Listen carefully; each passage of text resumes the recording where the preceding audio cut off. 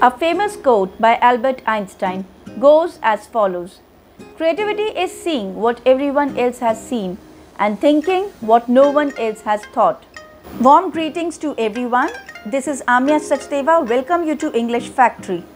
Always think outside the box and embrace opportunities that appear wherever they might be, rightly said by Lakshmi Mittal.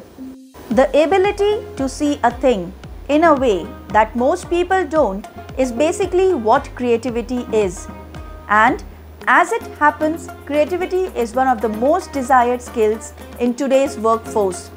You must have often heard people saying that you need to think out of the box. But what exactly is thinking out of the box? Well, thinking out of the box means coming up with ideas that are unique and have never been proposed before in this situation.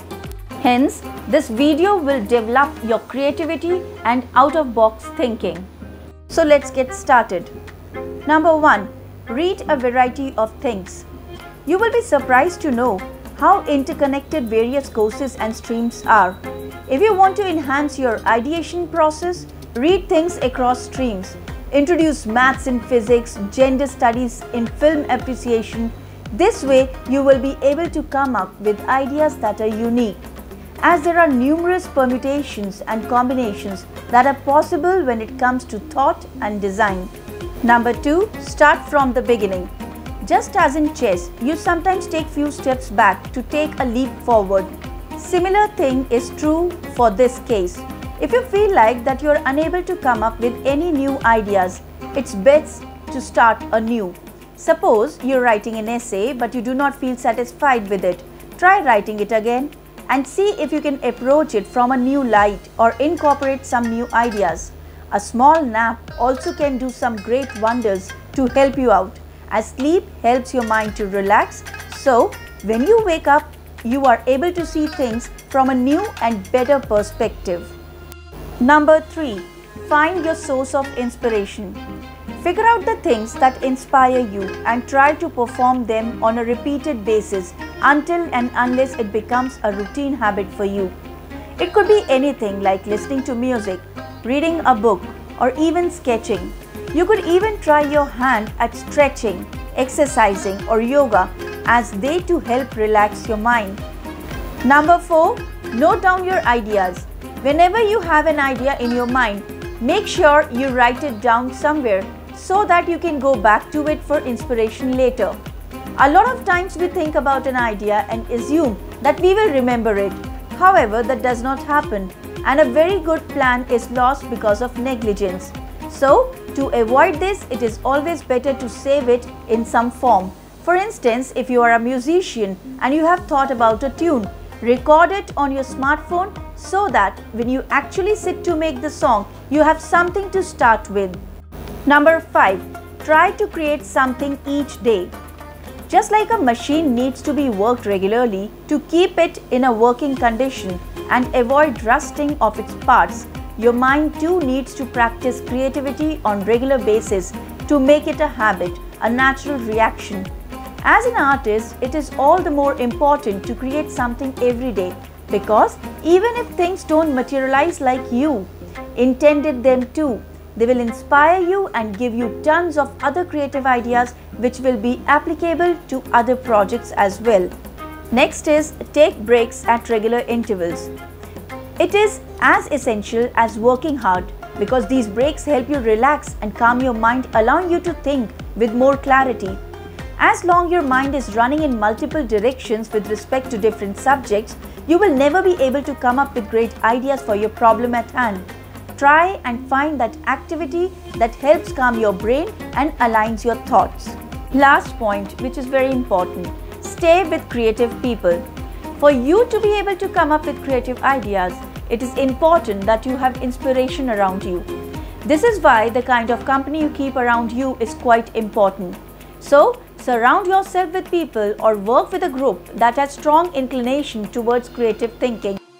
In today's techno environment, the intellectual property is valued far higher than the physical resources and hence arises the need for an employee with a creative bent of mind. When I think of people with a creative bent of mind, Steve Jobs comes in my mind. What is Apple after all? Apple is about people who think outside the box, people who want to use computers to help them change the world, to help them create things that make a difference, not just to get a job done. Here I come up with a story about someone who has a creative solution to the problems and has his own novel ideas of development and advancement. There is an employee A in a company who walked up to his manager and asked, What is my job for the day?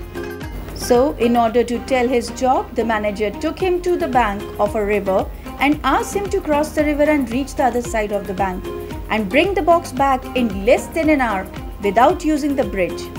Employee A completed his task successfully by taking a shared boat for rupee 10 and reported back to the manager about the completion of the task and assigned in 55 minutes. The manager smiled and said, Good job. Well, next day employee B reported to the same manager and asked him the job for the day. The manager assigned the same task as above to this person also. The employee B, before starting the task, saw employee C struggling in the river to reach the other side of the bank. He realized C has the same task. After a deep thought, B hired a motor scooter for rupees 50 and crossed the river and also took employee C along. Employee B reported back to the manager that they did the job in 30 minutes and the manager smiled at this and said, Very good job. The following day, employee Q reported to the same manager and asked him the same question about his job for the day. The manager assigned the same task again to employee Q also. Employee Q, he was very smart. So before starting the work, did some homework and realized how A, B and C all have done this task before. So he met them and understood how they performed. Time spent were 2 hours. He realized that there is a need for standard operating procedure for doing this task as there was huge time and money variation. So, he sat down and wrote down the detailed SOP for crossing the river. He documented the common mistakes people made, various means of achieving the task, and tricks to do the task efficiently within budget that is rupees 25 and on time that is maximum time spent 1 hour. Using the SOP, he had written down how he would cross the river and reported back to the manager along with SOP material. The manager said, Q, you have done an excellent job. The following day, employee O reported to the manager and asked him the job for the day. The manager assigned the same task again. O studied the SOP written down by Q and sat and thought about the whole task. He took 5 minutes. He realized that company is spending a lot of money in sending the person over when they can just ask the boatman to bring the box. Hence, he decided not to cross the river, negotiated with the boatman who agreed to do the same for rupees 2, sat down and enjoyed his beer while the boatman brought his box in the assigned time. Having felt elated, employee O went back to his manager and said, You no longer need to assign this task to anyone else now. The boatman will deliver it to us for rupees 2 every day. Hearing this, the manager smiled and said, Outstanding job, O. I'm really very proud of you. Here's one question to you. What is the difference did you see in employee A, B, Q and O? I expect to see your answer in the comment box. Many a times in life we get tasks to be done at home, at office, at play or anywhere. After accomplishing the task, we feel quite satisfied and happy. Often we are disappointed when the recognition is not meeting our expectation. So take the initiative. Initiative should be lifelong. Initiative is a continual process and it never ends. This is because this year's task is next year's achievement. One must remember creativity is thinking up new things, whereas innovation is doing new things. Now I wrap up today's lesson with the words of Steve Jobs. Success depends on the second letter, and that letter is you.